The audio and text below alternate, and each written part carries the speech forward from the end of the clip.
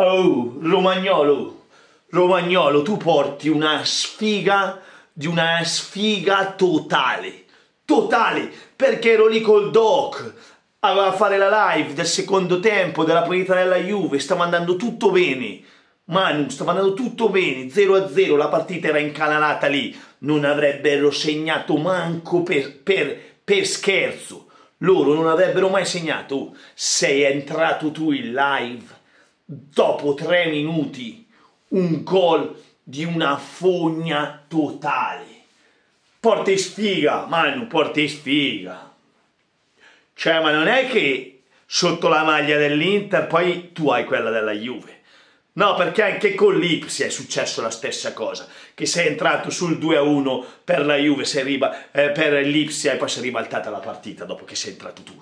Tu porti una sfiga esagerata. Comunque che culo, raga. Che culo. Che mazzo sfondato. Cioè, la Juve oggi poteva stare lì 300 minuti con l'uomo in più e non avrebbe mai vinto. Non l'avrebbe mai vinta sta partita. Mai.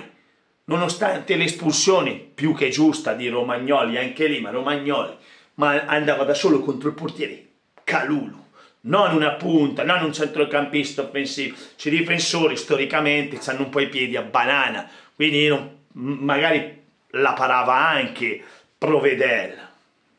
E tu l'hai abbattuto, giustamente, espulsione netta, ultimo uomo, che vuoi dirgli? Gli ha dato una trambata.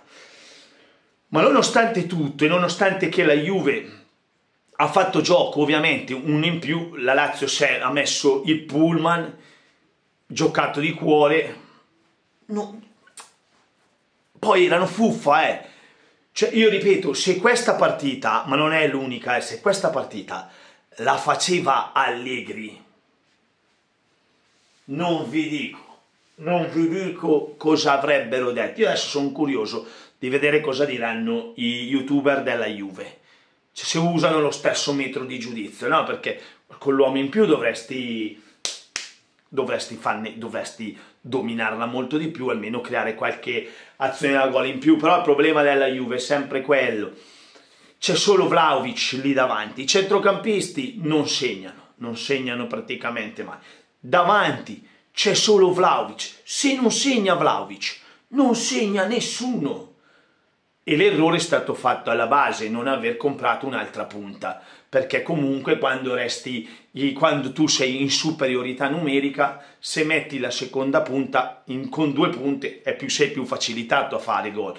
E così invece tu non hai nessuno, quindi è anche difficile per l'allenatore, questo è un errore della dirigenza che alla lunga può costare caro, poi arriva a gennaio, puoi riparare, però bisogna stare attenti.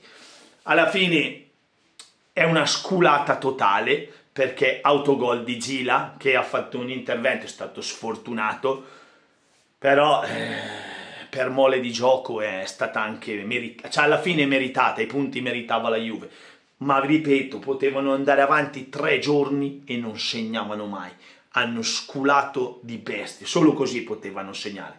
Sempre Forza Mina, la Juve ci rimane ancora davanti, ci vediamo domani.